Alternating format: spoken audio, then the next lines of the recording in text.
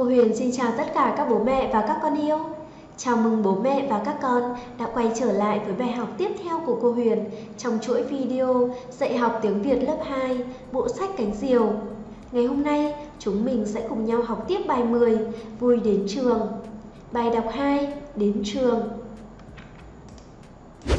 Và đây chính là hình ảnh minh họa cho bài đọc đến trường. Chúng mình thấy rằng ở đây có một cô giáo đang đưa một bạn học sinh đi tham quan trường. Và bạn đã nhìn thấy được các hoạt động vẽ tranh, nặn đất sét và lắp ghép. Vậy nội dung của bài đọc đến trường như thế nào thì chúng mình sẽ cùng nhau tìm hiểu trong tiết học ngày hôm nay nhé. Bây giờ cô mời các con dở sách giáo khoa hoặc hướng lên màn hình. Nghe cô đọc bài. Đến trường Có một cậu bé sắp vào lớp 1 nhưng chưa thích đi học. Mẹ cậu bèn dẫn cậu đến trường. Hai mẹ con theo cô hiệu trưởng đi thăm trường. Họ đi ngang qua sân chơi, rồi đến dãy phòng học lớp 1. Có lớp đang đọc đồng thanh một bài thơ, có lớp đang học toán. Cậu bé hỏi, ngày nào cũng chỉ tập đọc, làm toán thôi ạ? À? Mẹ cậu không bằng lòng. Đây là trường học, con đến trường để học mà. Nhưng cô giáo bảo, ở trường em còn được học các môn khác nữa. Cô dẫn cậu bé đến phòng thực hành. Ở đó, có bạn đang nặn đồ chơi bằng đất sét, có bạn hí húi vẽ tranh, một bạn gái đang lắp ráp nhà. Ở phòng khác, các bạn đang học hát. Đi một vòng, cô giáo hỏi cậu bé có muốn đi học không? Cậu vui vẻ gật đầu. Người mẹ ngạc nhiên nói: "Cô như có phép màu ấy ạ." À. Cô giáo cười: "Có gì đâu, các cháu thấy học vui thì thích học ngay thôi mà." Vậy là các con đã vừa nghe cô Huyền đọc bài rồi. Trong câu có bạn hí húi vẽ tranh, các, các con hiểu từ hí húi có nghĩa là gì? À, hí húi có nghĩa là dáng vẻ hơi cúi xuống, chăm chú làm việc gì đó. Vậy là chúng mình thấy bạn nhỏ ở trong bài đang hơi cúi người xuống để vẽ tranh. Bây giờ cô sẽ hướng dẫn các con luyện đọc bài đọc đến trường nhé. Đầu tiên, các con hãy ấn tạm dừng video để đọc từng câu trong bài nào. Các con đã đọc xong chưa? Ở trong bài có một số từ khó đọc, chúng mình cùng đọc nhé. Hiệu trưởng. Hiệu trưởng. Bằng lòng. Bằng lòng. Đất sét. Đất sét. Lắp ráp. Lắp ráp. Ngạc nhiên. Ngạc nhiên. Bây giờ cô sẽ chỉ vào các từ các con đọc to một lần nữa nhé.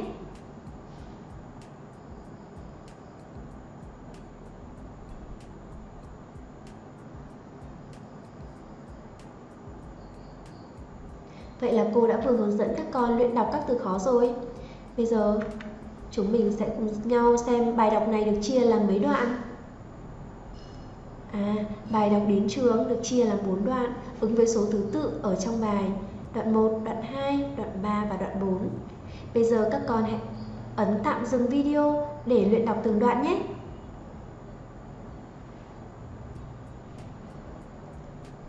Các con đã đọc xong chưa nào? Bây giờ các con lại ấn tiếp, lại tiếp tục ấn tạm dừng video để luyện đọc cả bài này nào.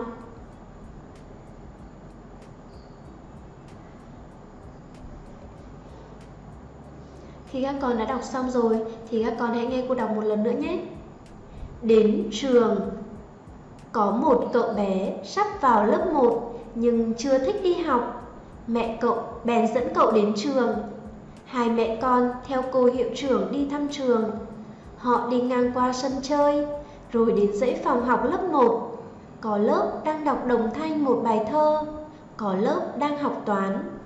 Cậu bé hỏi, ngày nào cũng chỉ tập đọc, làm toán thôi ạ? Mẹ cậu không bằng lòng. Đây là trường học, con đến trường để học mà. Nhưng cô giáo bảo, ở trường em còn được học các môn khác nữa. Cô dẫn cậu bé đến phòng thực hành ở đó có bạn đang nặn đồ chơi bằng đất sét, có bạn hí húi vẽ tranh, một bạn gái đang lắp ráp nhà. Ở phòng khác, các bạn đang học hát. Đi một vòng, cô giáo hỏi cậu bé có muốn đi học không? Cậu vui vẻ gật đầu. Người mẹ ngạc nhiên nói: "Cô như có phép màu ấy ạ." À? Cô giáo cười: "Có gì đâu, các cháu thấy học vui thì thích học ngay thôi mà." Vậy là chúng mình đã cùng nhau luyện đọc bài đến trường. Bây giờ chúng mình sẽ cùng nhau tìm hiểu phần đọc hiểu. 1. Theo em, mẹ dẫn cậu bé đến trường làm gì? À, để biết mẹ dẫn cậu bé đến trường làm gì thì bây giờ các con hãy đọc lại đoạn 1 để trả lời câu hỏi này nhé. Các con hãy ấn tạm dừng video, đọc lại đoạn 1 và trả lời cho cô câu hỏi nào.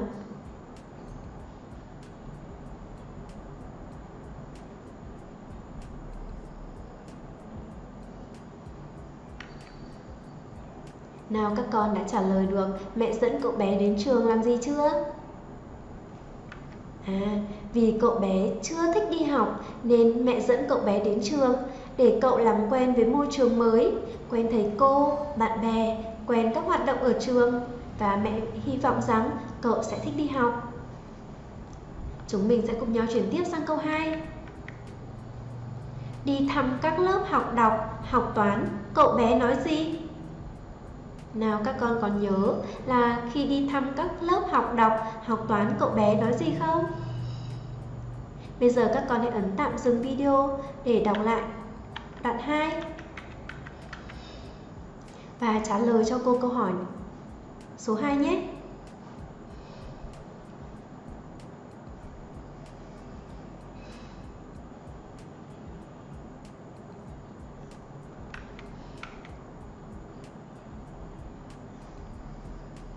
Khi đi thăm các lớp học đọc, học toán, cậu bé nói gì các con nhỉ?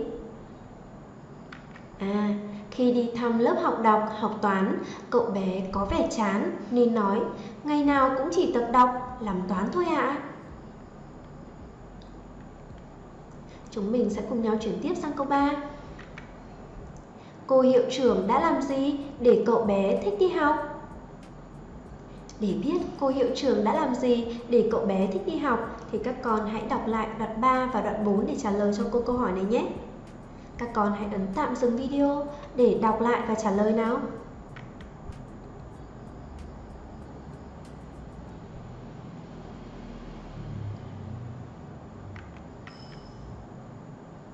Các con đã trả lời được chưa? Chúng mình thấy là để cậu bé thích học thì cô hiệu trưởng đã dẫn đã dẫn cậu bé đến phòng thực hành để cậu bé thấy ở trường học sinh được học rất là nhiều thứ, được làm nhiều việc theo sở thích như nặn đất nặn này, vẽ tranh, lắp ráp, hát chứ không chỉ là việc học đọc và làm toán. Nên là cậu bé đã thích đi học. Vậy qua bài đọc này, các con hiểu ra được điều gì? À, qua bài đọc này chúng mình thấy rằng các bạn thích đi học vì ở trường chúng mình được học rất là nhiều thứ. Ngoài việc học đọc và làm toán thì chúng mình còn được học những điều mà chúng mình thích nữa. Bây giờ cô trò chúng mình sẽ cùng nhau chuyển tiếp sang phần luyện tập. Câu 1. Cần thêm dấu phẩy vào chỗ nào trong mỗi câu sau? A cậu bé được dẫn đi thăm các phòng học, phòng thực hành. B. Các bạn đang nặn đồ chơi, vẽ tranh. C. Cậu bé đã hiểu ra rất thích đi học. Câu mẫu, các bạn đang tập đọc, phải làm toán. Nhiệm vụ ở bài tập này là chúng mình sẽ đặt dấu phẩy vào những vị trí phù hợp. Và dấu phẩy thì đóng vai trò, có vai trò như thế nào ở trong câu? Các con có biết không? À, ở trong câu thì dấu phẩy đóng vai trò là sẽ ngắt các từ ngữ có những nhiệm vụ giống nhau ở trong câu như là các từ chỉ sự vật, từ chỉ hoạt động và các từ chỉ đặc điểm. Bây giờ các con hãy ấn tạm dừng video để hoàn thành bài tập này vào trong vở nhé.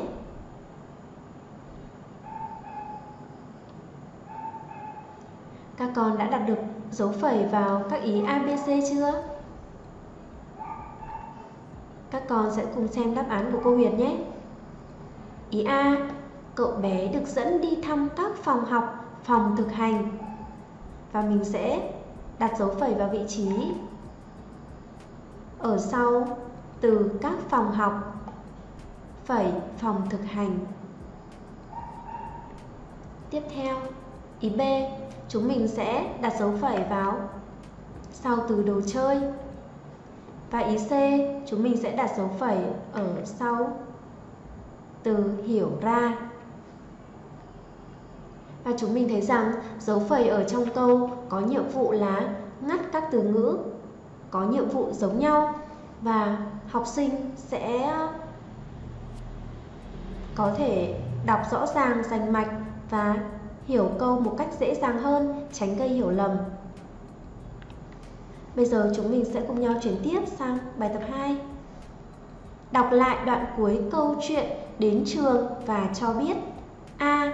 Mẹ khen cô giáo thế nào? B. Cô giáo đáp lại lời khen của mẹ thế nào? Bây giờ các con hãy đọc lại đoạn cuối câu chuyện đến trường là đoạn 4 và cho biết mẹ khen cô giáo thế nào và cô giáo đáp lại lời khen của mẹ thế nào nhé.